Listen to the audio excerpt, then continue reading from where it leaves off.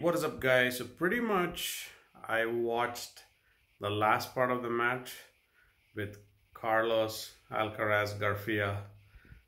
I think he was literally like focusing so hard because it's the last match of the, you know, uh, tour of uh, Miami 2022.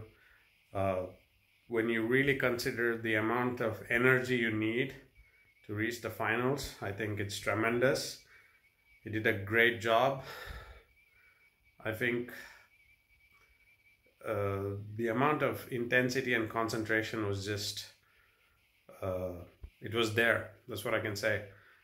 He did a great job. I mean, when you see the score 7 5 6 4, not a joke. So amazing.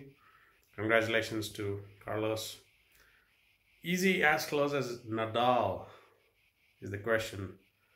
Well, according to me, it depends on the literally the timeline when Nadal was 18 and Alcaraz was 18. If you consider 18 year old Nadal and 18 year old Alcaraz, it would have been an amazing match if both of them could sort of like play in that age. Age matters a lot, but however, Right now, Nadal has got a lot of skill.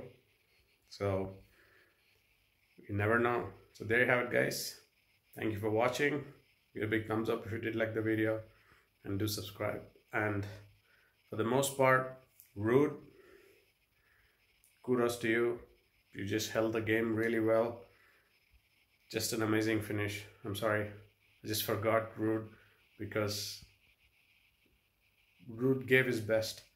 I was seeing that, especially on the, I mean, the first set, 7 5, he tried to just hold on the concentration. Yeah.